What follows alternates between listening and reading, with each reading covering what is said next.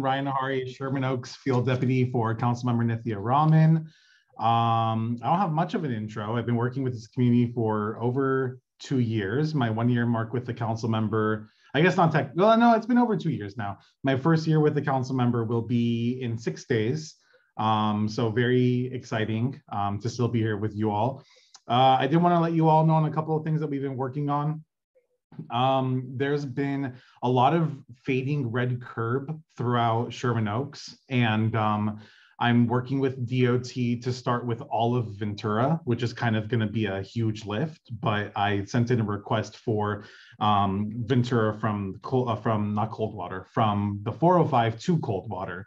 We'll see how long that takes, but there's a lot of fading curb. There's a lot of curb that um, also just has chunks that are missing that are also an issue because some some of our curb is so bad that um, it's causing damage to vehicles or uh, tires are popping and um, some an update on that which i will share photos of hopefully soon it's extremely it's nearly impossible unfortunately to fix a sidewalk um, and that's a huge public safety issue that we have because we have people who are in wheelchairs, we have those who are elderly, we have those who are differently abled, and it's not easy navigating through our sidewalks we the city has been sued for its sidewalks. Um, there's a, a, a, massive rebate program we have right now where the city incentivizes residents to take sidewalks into their own hands.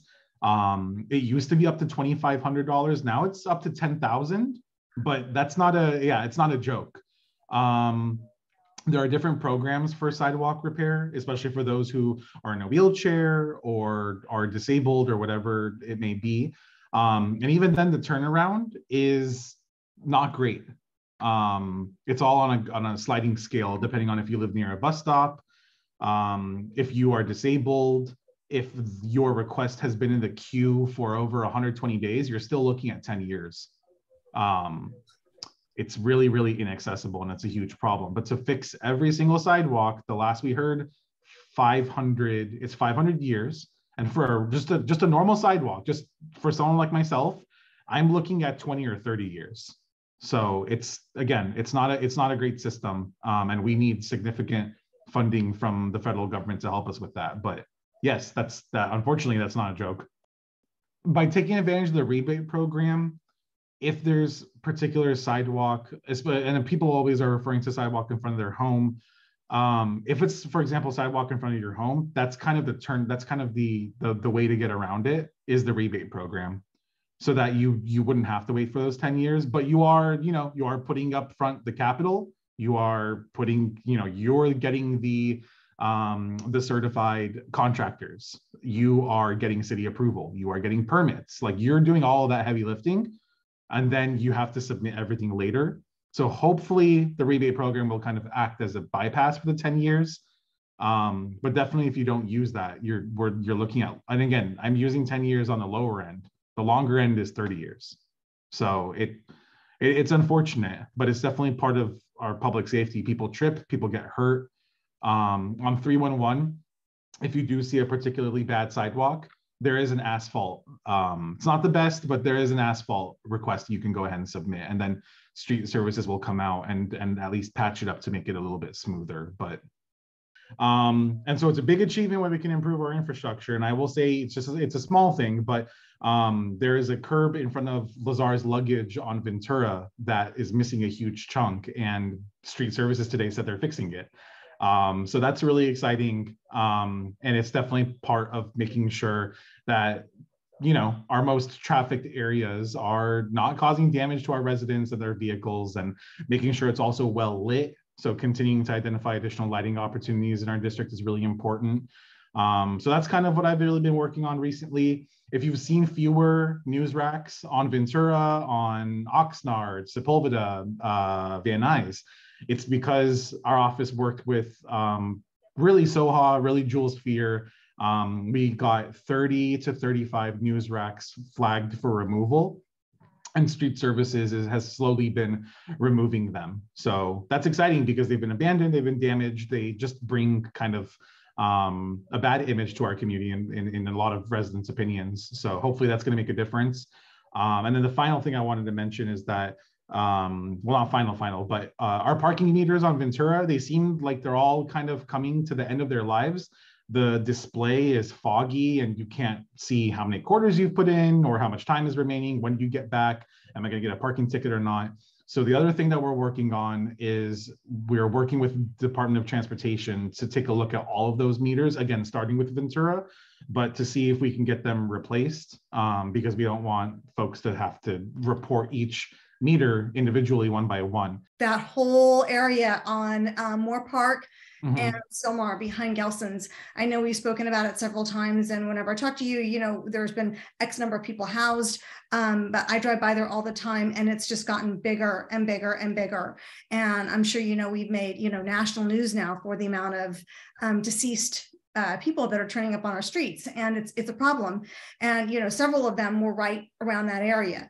Mm-hmm. Um, so it's it's not it's not safe it's not sustainable for anyone and it is getting bigger it's getting um, more and more problematic and literally i mean it's not even being dramatic anymore it's literally people are dying so what are we doing to protect the you know the the residents that need to walk by there that want to go to the grocery store mm-hmm. the people that are on the streets and the people that are trying to run their businesses i mean this is a it's a, a catastrophe for everybody. So what can we do to, to, to help the situation as expeditiously as possible? So we have at least four different homelessness service providers who go out there on a weekly basis. Uh, NoHo Home Alliance, LA Family Housing, St. Joseph Center, which focuses on RV outreach. And then, of course, our office and our homelessness deputies actually go out there to touch base with our regulars. I will say we have there there used to be tents on the west side of Sylmar. There no longer are. Um, we we did get those foes those folks housed. I know there's one tent on the east side, um, and uh, basically we're trying to find additional housing because we are filling up very quickly at Highland Gardens, which has a capacity of 140, which is the project Roomkey site that's been extended for the next three years. Um, so we're continuing to work on that. I will also say um, the our, our St. Joseph Center, uh, we have been focusing on different sites throughout Sherman Oaks. Library Square is one of them. But very recently, at a different intersection, we used our St. Joseph Center program to get folks housed, and um, two RVs have been removed off of the street. So it's it's gradual. It definitely not everyone is going to see us doing the outreach not everyone is going to see us going door to door and all of that but the work definitely is being done again it does take time um, and then also our office has been in touch with at least 15 or 20 different uh, uh, neighbors on Lenox and throughout Library Square. You know, we've been in touch with them to let them know what we're doing and and updating them on getting folks housed, getting them indoors. You know, relating criminal uh, uh concerns to LAPD and all of that.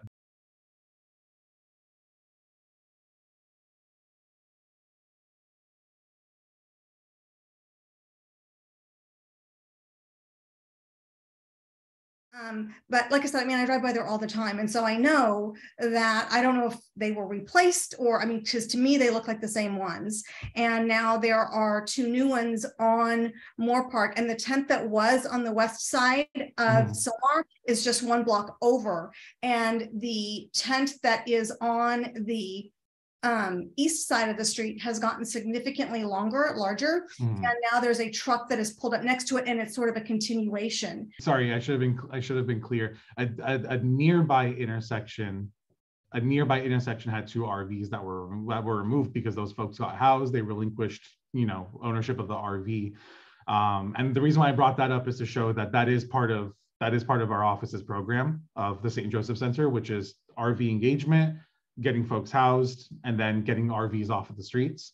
Um, and then I will say we do have LA sanitation scheduled for a, very, very soon. Um, and so our team is always out there working to make sure that we, you know, we work with with these individuals to get uh, anything unneeded off of our streets. But um, I can share a lot more uh, I can go on and on, but it's definitely continuing to be on our radar, and we're definitely trying as much as we possibly can to to reduce homelessness. And we definitely have a sense of urgency because there is uh, there was a, a, a, what is it a, a, blizzard warning last night for our county. So we know how serious this is and we don't believe that unhoused folks should be left on the streets. We we do want to bring them indoors to give them shelter to give them the help that they need. So we're definitely in agreement on that and um, further deaths is not something this office wants at all um, so anyway that's just some of the work that we're continuing to do again it's gradual but it's definitely happening so so, with regards to the St. Joseph's program, so once some uh, a, a person in a vehicle indicates that they would like assistance, and then you connect them with the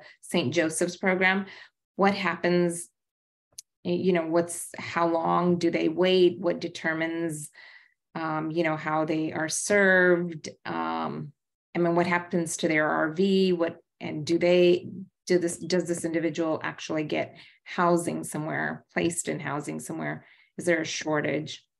So we definitely rely on uh, a lot of different partners. You know, if, if there's if we're in a situation where we really need to get someone housed, which to be frank, we always are, we will reach out to nearby council districts. Um, you know, council districts to uh, Council President Krikorian has been kind enough to lend us some tiny homes for some of our unhoused folks.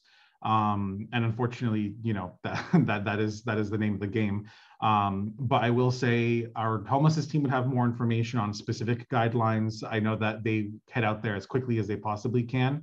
Um, I don't know the exact turnaround, but the the whole uh, uh, I guess I should say the, the the whole point of the program is specifically to do that engagement when that person gets housed there is a process for the RV removal. The RV only gets removed and the, the, the, the, if it's a trailer or whatever it may be, that only gets removed when that person gets housed. Because first and foremost, we have to get them that housing and then we work on really everything else. So um, I hope that answers your question. I can get more specific details in terms of, you know, outreach workers and the turn turnaround and all of that. And I can, I can share that with you. Thank you. Yeah. I just have one more quick question. So, um, am I correct in um, in uh, I've heard that the the people in RVs are not um, processed in the same way under Karen Bass's um, Inside Safe program. Is that correct, or am, am I mistaken? I heard that RVs were were mm-hmm. not considered sort of candidates or, or or brought in at the same rate as people in tents. Um, to be frank, I wouldn't know. I'm not entirely sure of their scope since it is the mayor's program. Um, I can try to get more information and then I can I can let you know what the mayor's office shares. Yeah.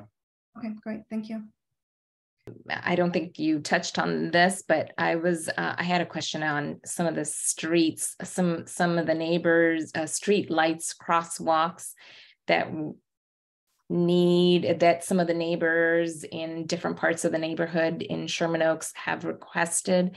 I mean, is there a plan to somehow um, uh, install new crosswalks or you know there were some that were approved in the past and mm-hmm.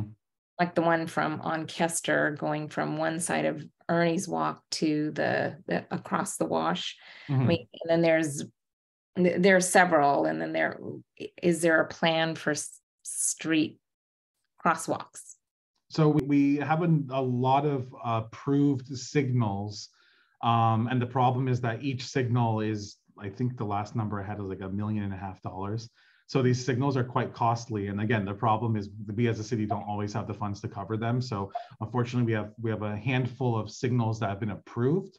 And if we have the money we could we could get them you know we'd be able to start construction um, i will say that uh, dot does have a they they they prefer crosswalks that have a signal because the issue is on a street like for example magnolia if someone's driving 40 miles per hour and you're crossing in the middle of a crosswalk and it doesn't have a signal or anything indicating you are using the, the crosswalk a vehicle driving 40 miles per hour will kill you. And so that's kind of the issue we have is that dot actually um, has been starting removing certain naked, so to speak, crosswalks because they've been deemed unsafe. And so the other issue is that throughout COVID, DOT stopped processing crosswalk requests. They had, in the Valley, they had a backlog of 6,000. So 6,000 individual requests. I'm talking about stoplights, I'm talking about stop signs, I'm talking about curbs, uh, you name it, everything DOT related And so because of that, they put everything on hold and everything unfortunately is still on hold. So even if I want a crosswalk right now, it's been DOT approved, et cetera. Um, last I heard, it's it's still on hold because of COVID, because of the backlog, the lack of staff, the, the all of the you know compounding issues that kind of have just piled on together. So we we do rely on folks to to point out problem areas because residents know better. Uh, residents are the best sources to tell us where there's a problem. So a lot of times folks will tell us. And we also do on our on our website, just so everyone knows, we do have a traffic, and I'll link it in the chat. We have a traffic and transportation Google form that we used to kind of supplement the traditional LA DOT 311 system because DOT took off its 311 system throughout COVID. Like you you can't you can't use it right now. It doesn't exist, which is really frustrating. So we as an office supplemented that by having a Google form, and that's where folks have submitted, you know, requests like stop signs, stoplights, speed bumps. Um, so we need to continue working on it, and we need to work with DOT to find uh, ways to bring these quicker online because it's it's definitely a concern, and we want people to be able to cross to cross safely and not have to be afraid afraid when they're using our streets and all that. Okay, Ryan, I appreciate you. You know, I um, enjoy working with you and I enjoy, um, I really do. I, I, know we, we, we kind of jump on you for questions and answers, um, but I do appreciate all your hard work. I really do. Uh, you're a great um, asset to Sherman Oaks and I, I know we all appreciate you. Thank you very much. Thank you, Susan. That's very nice. And I always love working with you and everybody on this committee. So I wouldn't be here at 745 in our, in our office right now if I didn't want to. So well, thank you. We appreciate you.